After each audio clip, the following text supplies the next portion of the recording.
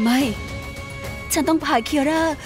กลับมาด้วยตัวเองให้ได้ คุณซิงบอกฉันว่าเขาจะจ่ายนี่นะ ฉันควรขอร้องให้เขารีบทำฮัลโหล ฮัลโหล ใครพูดน่ะ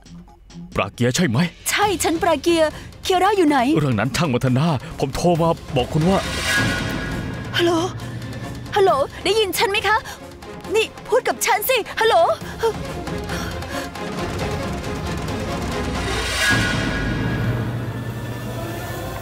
จรลักพาตัวโทรมาเหรอ ฉันควรทำยังไง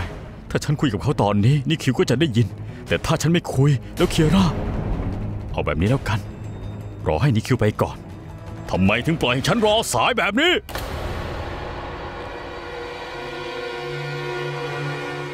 ฮัลโหลเอ่อคุณเงียบไปเพราะโจรลักพาตัวอยู่แถวนั้นใช่ไหมฟังนะครับ ผมไม่เคยเจอคุณ แต่ผมเคยเจอเคียร่า ผมได้รับมอบหมายให้ดูแลเธอ แต่ความรับผิดชอบแรกของผมคือส่งตัวเคียร่ากลับไปอยังปลอดภัย คุณทำแบบนี้นะครับ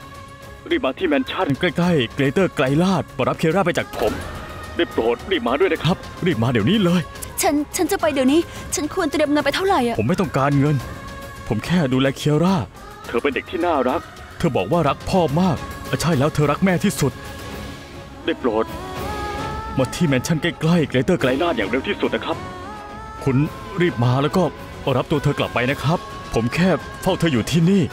คุณรีบมาที่นี่ด่วนเลยนะครับ ผมขอร้องนะครับ ฉันจะไปเดี๋ยวนี้ค่ะ